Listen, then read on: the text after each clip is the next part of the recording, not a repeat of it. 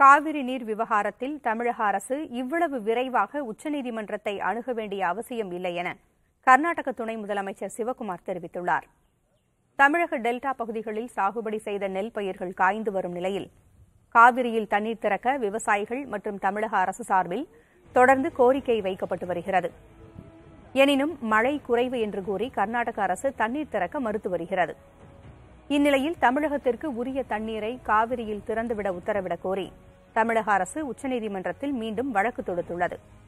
இதனை குறிப்பிட்டு பெங்களூரில் செய்தியாளர்களிடம் பேசிய கர்நாடக துணை முதலமைச்சர் சிவக்குமார் மழை குறைவு காரணமாக பயிரிட வேண்டாம் என்று தங்கள் மாநில விவசாயிகளுக்கு அறிவுறுத்தியுள்ளதாக குறிப்பிட்டார். தமிழ்நாடு உச்சநீதிமன்றம் சென்றிருப்பது சரியில்லை என்றும் நீர் இருப்பின் அடிப்படையில் தண்ணீர் திறந்துவிடும் பொறுப்பு ஆணையத்திடம் உள்ளதை உணராமல் தமிழக அரசு செயல்படுவதாகவும் கூறினார். தமிழகத்திற்கு தண்ணீர் திறக்கக்கூடாது என்ற நிலைப்பாடு இல்லை என்றும் நிலைமையை பார்த்து தாங்களே தண்ணீர் திறப்போம் என்றும் சிவக்குமார் தெரிவித்தார்.